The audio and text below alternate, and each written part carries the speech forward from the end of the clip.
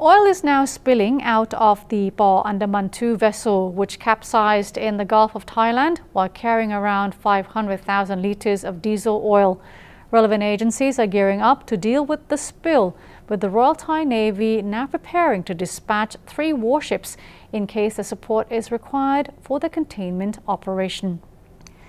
The severity level of the oil spill currently remains at level 1, meaning that the amount of oil leaked has not exceeded 20 tons. The Marine Department has taken charge of the recovery operation for the time being. If the severity of the spill escalates to level 2, the Navy will be asked to establish a command center in order to coordinate the cleanup effort. For the time being, the First Navy has been assigned to ready three vessels, specifically the Songkhla, Manok, and Samesan, so they can be deployed immediately to support the operation if needed. Two shipping containers carrying oil slick cleanup equipment are also being sent to assist the effort.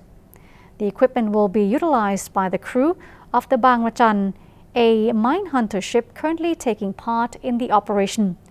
The Provincial Marine Office in Chumphon is warning vessels to exercise caution in areas near the capsized ship and the firm operating the Por Andaman 2 has been told to quickly salvage the vessel.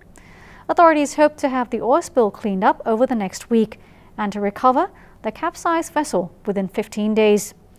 The Pollution Control Department and relevant agencies are meanwhile drawing up an incident response plan in case the oil slick reaches shoreline.